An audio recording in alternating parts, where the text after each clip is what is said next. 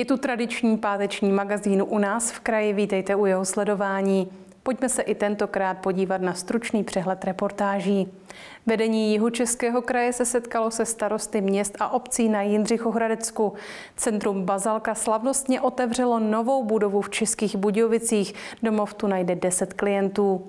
A v táboře se uskuteční už třetí ročník konference Vize Česka. Opět přijede spoustu známých osobností. Historické prostory kláštera minoritů v Jindřichově Hradci hostili další pracovní setkání vedení Jihočeského kraje se starosty měst a obcí.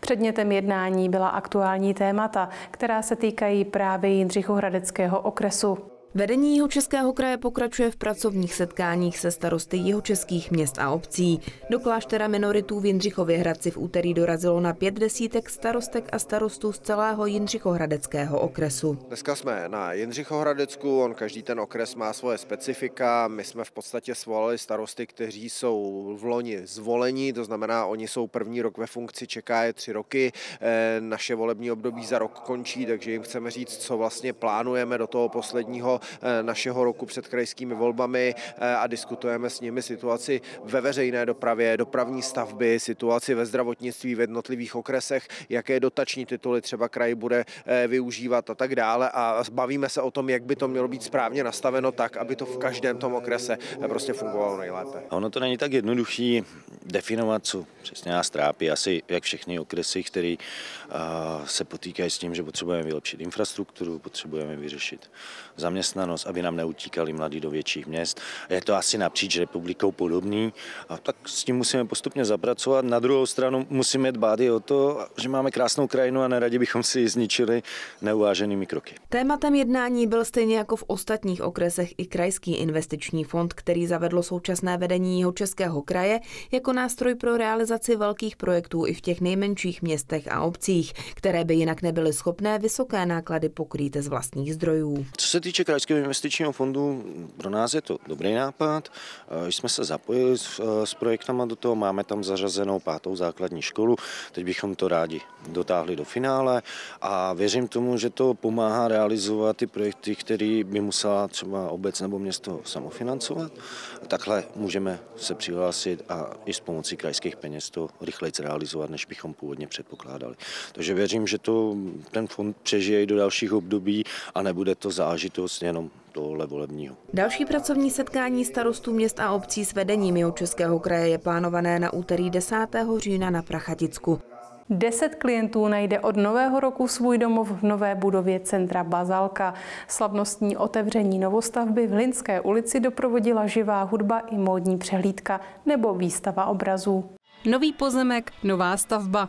To je domov pro klienty, kteří dlouhodobě navštěvují centrum Bazalka a již nesplňují věkový limit. Tato novostavba je určená pro naše klienty, kteří už k nám chodili jako děti do týdenního stacionáře, někteří i do denního stacionáře a protože už dospěli, tak jsme právě měli myšlenku, že bychom chtěli se o ně starat dál a proto jsme požádali Evropskou unii o dotaci, protože byly vypsané vlastně granty a dokázali jsme to postavit. Celý projekt vyšel na přibližně 30 milionů korun a dotace byla z 95%.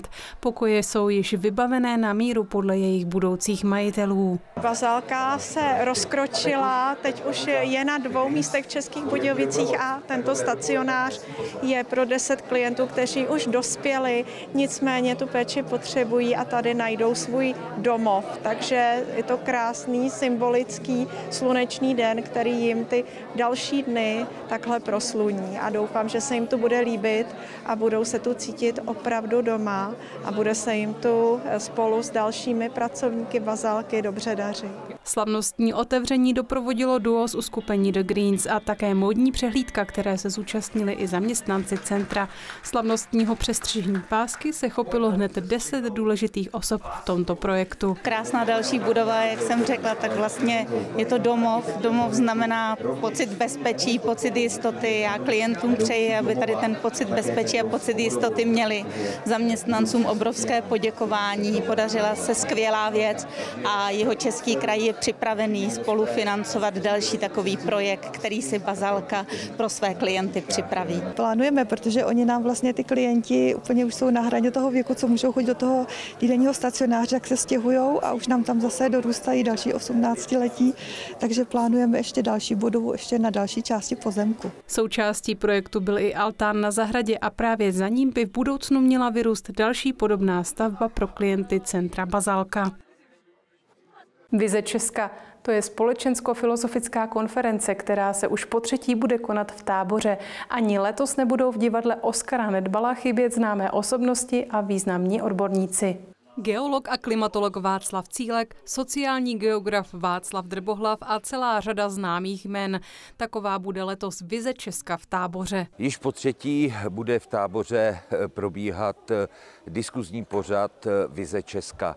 Musím říct, že jsme začali s tímto programem pod patronací našeho člověka, který si myslím, že je takový prognostik a vidí o několik roků dál, a to je Václav Cílek.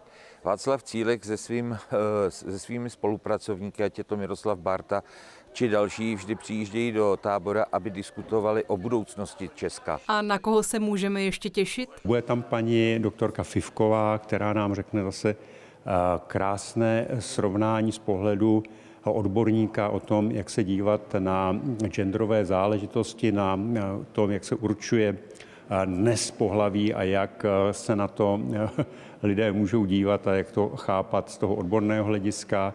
Bude tam profesor Rák, který se vyjádří ke stále a dávnému aktuálnímu tématu k kvantové fyzice. Snažíme se, aby to mělo spát. Mají vždycky ti hosté tři čtvrtě hodinový blok a snaží se tak jako laickým způsobem to přiblížit i pro běžného posluchače. Ale ta témata jsou opravdu zajímavá, spíše problém v tom, že lidi v dnešní době si nemají čas o tom něco přečíst nebo na, na, vyhledat na YouTube tu konkrétní problematiku. Na Vizi Česka se každý dozví o daném tématu to stěžení. První den je program pro veřejnost a druhý den je věnován studentům. I ten další spolupořadatel, ta další noha toho, té konference, to, to je ten studentský panel, který je potom v pátek a je pouze pro studenty organizuje ho táborské gymnázium Pira de Couberténa, tak oslovuje zase te, ty své sesterské instituce, ty, ty střední školy po, po jeho českém kraji a jejíž studenti přijíždějí do tábora